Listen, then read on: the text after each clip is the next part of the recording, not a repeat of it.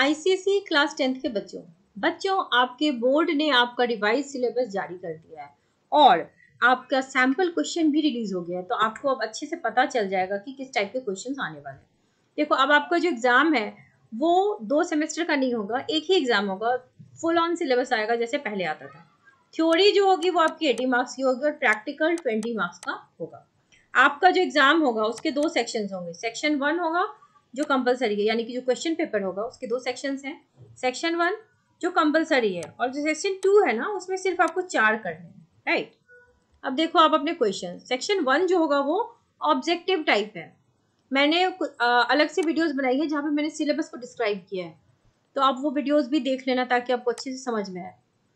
देखो यहाँ पे जो सिलेबस है आपको उसके हिसाब से एमसीक्यू दिया हुआ है। तो कोवेलेंट बॉन्ड के बारे में high melting point covalent bond की कुछ कैरेक्टरिस्टिक्स होती हैं। ये वाला जो क्वेश्चन है, वो आपको बताएगा कि रिएक्शन जब होता है प्रोडक्ट जब आता है तो कलर होता है सर्टेन प्रोडक्ट में कलर होता है। तो इसके अकॉर्डिंग आपको बताना है। जैसे कॉपर सल्फेट जनरली ब्लू होता है, ये आप याद रख लेना आयरन सल्फेट ग्रीन होता है। तो सर्टेन कलर्स जो होते हैं कंपाउंड में, कुछ ही गिवन है है, जिसको आपको याद रखना है।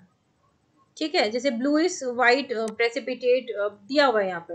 ब्लू कलर का जो कंपाउंड होता है कॉपर सल्फेट के साथ जब फाइव एच टू आ जाता है तो ये कंपाउंड कहलाता है ब्लू विट्रियोल ब्लू विट्रियोल और ये ब्लू कलर का होता है। ऐसे ही एवोगैड्रोज नंबर से क्वेश्चन है देन आपका इलेक्ट्रोलाइसिस से क्वेश्चन है ड्यूरेलियम ये एलोई है, ठीक है? एलोइज भी आपके लिए इंपॉर्टेंट टॉपिक है। यहाँ पर ये आपका क्वालिटेटिव एनालिसिस से क्वेश्चन है reaction product chloroform from methane ये भी आपको एच जब पढ़ोगे तो ये आपको समझ में आएगा। देन ये वाला जो है वो आपको ट्रेंड जो पीरियोडिक प्रॉपर्टीज़ होती है, उस चैप्टर से ये क्वेश्चन है कि आयनाइजेशन पोटेंशियल कैसे ऊपर से नीचे जब हम आते हैं तो घटता है और लेफ़्ट से राइट जो है वो बढ़ता है इन अ पीरियोडिक टेबल फिर आपको रिएक्शंस लिख के प्रैक्टिस करनी है। Since you're in class tenth आपको पहले तो बैलेंसिंग सीखनी है। लेफ़्ट एंड राइट साइड में जितने भी आइटम्स हैं वो, उनके नंबर बराबर होने चाहिए। बैलेंसिंग सीखोगे, फिर रिएक्शन को लिख के प्रैक्टिस करोगे। ये हमारा कैल्शियम नाइट्रेट ये ब्रेथ हुआ है कैल्शियम ऑक्साइड एनओ में और ऑक्सीजन में। तो पहले तो इनके नंबर ऑफ़ एटम्स बराबर करोगे, फिर ये सवाल बनाओगे, इन मोल कॉन्सेप्ट जब पढ़ लोगे तो ये वाला भी बन जाएगा। ये रिएक्शन है ऑर्गेनिक केमिस्ट्री पढ़ने के बाद ये बनेगा इनके प्रोडक्ट्स क्या क्या होंगे। अभी याद करोगे फिर भूल जाओगे। यहाँ पर भी है सर्टेन रिएक्शंस आपको आइडेंटिफाई करने की वो कौन सा सब्सटेंस है जिनका रिएक्शन इस तरीके से होता है। ये भी पाँच नंबर का है। राइट द इक्वेशन अब यहाँ पर जो है वो फॉर्मूलाज नहीं गिवन है. क्लास टेंथ आपको सारे कंपाउंड्स के फॉर्मूलाज भी आने चाहिए. बहुत से बच्चों को फॉर्मूलाज नहीं आता. मैं जिन बच्चों को पढ़ाती हूँ, कई बच्चे गलत फॉर्मूला लिखते हैं. उन्हें बहुत प्रैक्टिस करानी पड़ती है. सल्फ्यूरिक एसिड उन्हें नहीं पता. कोई H two S O four लिखेगा, सही है. कोई एच एस ओ फोर भी लिख देगा, कोई H two S O three भी लिख देगा. So you have to learn the exact formulas ये भी टोटल पाँच नंबर का होगा. देन नेम द फॉलोइंग आपको बताना है कि अल्कीन सीरीज़ जब आप ऑर्गेनिक केमिस्ट्री पढ़ोगे तो आपको पता चलेगा। यहाँ पे थोड़ा सा ट्रिक है कि अल्केन सीरीज़ में पहला कार्बन एक कार्बन का होता है, लेकिन अल्कीन सीरीज़ का पहला मेंबर दो कार्बन का होता है। तो दूसरा मेंबर जो पूछ रहा है, बहुत से बच्चे हड़बड़ा के कार्बन नंबर टू बनाएँगे, लेकिन वो होगा कार्बन नंबर थ्री और यही ट्रिक करता है सीबीएसई भी आईसीसी भी। इसलिए ये आपसे कार्बन थ्री वाला नहीं पूछ के थर्ड मेंबर पूछेगा आपको कंफ्यूज करने के लिए। यहाँ पर देखो, सब में मेंबर पूछ रहा है। हालाँकि मैं इसकी वीडियोस बनाऊँगी ना एक्सप्लेन ऑल द आंसर्स यहाँ पे आपको इन सब के नाम लिखने सीखने हैं। जब आप आई कर लोगे तो आपको इनके नाम बहुत आसानी से बन जाएँगे। तो ये सेक्शन वन था जिसमें सारे क्वेश्चन मैंडेट थे। अब जो सेक्शन टू है, ये चालीस नंबर का है। इसमें सिर्फ़ चार क्वेश्चन आपको करना है। सिर्फ़ चार कहने को है बट बड़े क्वेश्चन हैं जैसे ये पीरियोडिक टेबल से क्वेश्चन है वन ये पूरे पाँच क्वेश्चन पाँच नंबर के हैं। पीरियोडिक प्रॉपर्टीज़ से। ये भी इजी पार्ट है। उन्हीं प्रॉपर्टीज़ और ट्रेंड्स से हैं। क्वेश्चन नंबर थ्री में आपको आइसोमेरिज्म देखो आइसोमर्स आपको बहुत सारे नहीं पढ़ने हैं। अल्केन अल्किन अल्काइन के कुछ पढ़ने हैं। आइसोमर्स वो कंपाउंड होते हैं जिनका मॉलिकुलर फार्मूला सेम होता है स्ट्रक्चर डिफरेंट होता है। तो इन दोनों का ए, ये तो क्वेश्चन है आपको सबके करने हैं प्रैक्टिस डिनेचर्ड अल्कोहल क्या होता है? जब लैब में अल्कोहल होता है ना उसमें हम जो इथाइल अल्कोहल होता है जो सैनिटाइजर में डालते हैं ना अब तो सब जानते हैं सैनिटाइजर इथाइल अल्कोहल में मिथाइल अल्कोहल मिला देता है। ताकि कोई इसको पी ना सके।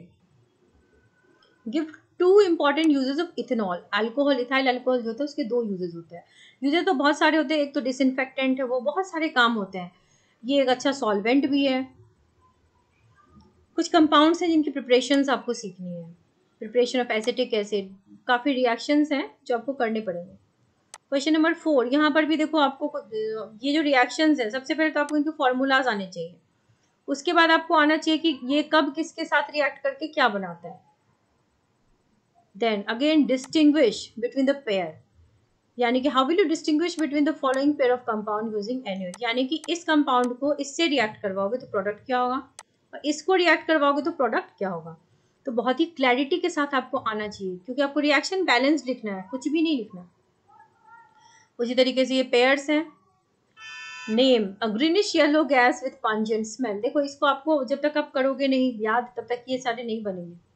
ग्रीनिश येलो गैस है, क्योंकि इसमें बहुत ज़्यादा थ्योरी पे कमांड होना चाहिए। नहीं तो आप डायरेक्टली तो याद रख लेते हो, लेकिन इनडायरेक्टली अगर इस तरह क्वेश्चन आते हैं तो हम कंफ्यूज आते हैं। A chemical use to deplete ozone layer ये आपको पता होगा ना freon a crystalline solid without water of crystallization तो इस तरह के काफ़ी सवाल हैं। अब ये आपका मेटल लिक्विड ये तो आप जानते हो सारे बच्चे। मरकरी नॉन मेटल अगर पूछा जाता तो वो ब्रोमीन होता। Non metal which is a conductor of electricity ये कौन सा होता है? ग्रेफाइट यानी कि कार्बन न्यूट्रल ऑक्साइड बहुत सारे हैं metal oxides which can not be reduce by hydrogen non metal which has lustre iodine बहुत सारे मैं सॉल्यूशंस दूँगी डोंट वरी ये मेटलर्जी से क्वेश्चंस हैं, पूरा का पूरा मेटलर्जी बेस्ड है। अब डायग्राम ज़्यादा नहीं है केमिस्ट्री में ज़्यादा डायग्राम हमको फोकस करना है बायोलॉजी में। ये सिल्वर प्लेटिंग जब होगी आयरन का मान लो एक आयरन का चम्मच है इस पर सिल्वर प्लेटिंग होगी। इसको कैथोड पे रखोगे या एनोड पे रखोगे वो सब सीखना है। ओके okay, यहाँ पर हमें प्रोडक्ट बनाने हैं कि सोल्यूशन में इलेक्ट्रोलाइट है कॉपर सल्फेट कैथोड है कॉपर एनोड भी है कॉपर तो प्रोडक्ट कहाँ बनेगा और क्या बनेगा? फिर ये ऑक्सीडेशन रिडक्शन जब आप रिएक्शन पढ़ोगे ना तो ऑक्सीडेशन रिडक्शन रिएक्शन पढ़ोगे। तो कहाँ ऑक्सीडेशन हो रहा है? यहाँ पे कॉपर दो इलेक्ट्रॉन लूज कर रहा है। तो यहाँ पर दो इलेक्ट्रॉन आएगा। यहाँ पर इस तरीके से आप इसको बैलेंस करोगे। ये हमारा मोल कॉन्सेप्ट बेस्ड क्वेश्चन है। देखो, ये इकलौता क्वेश्चन पाँच नंबर का है तो दिस इज़ वेरी इंपॉर्टेंट यहाँ पे इलेक्ट्रॉन डॉट स्ट्रक्चर देखो electron dot structure is a very easy part but it needs practice आपको इसकी जम के प्रैक्टिस करनी कंपेयर द प्रॉपर्टीज़ ये तो कोवेलेंट और इलेक्ट्रोवेलेंट बॉन्ड की प्रॉपर्टीज़ है। तो ये सारे क्वेश्चंस थे बच्चों जो आपको आपके केमिस्ट्री में करने हैं। इस टाइप ऑफ़ क्वेश्चन जो आपके बोर्ड में आएँगे ये तो सिर्फ़ एक सैंपल था। ऐसे कई क्वेश्चन हो सकते हैं इसके लिए आपको चैप्टर को बहुत अच्छे से पढ़ना होगा। और बच्चों मैं इसके जो आंसर्स होंगे उसकी वीडियोस लाऊँगी जल्दी ही लाऊँगी। सो so, आप चैनल को सब्सक्राइब कर लीजिए ताकि अपडेट्स आपको फटाफट मिलती रहे। All the very best to all student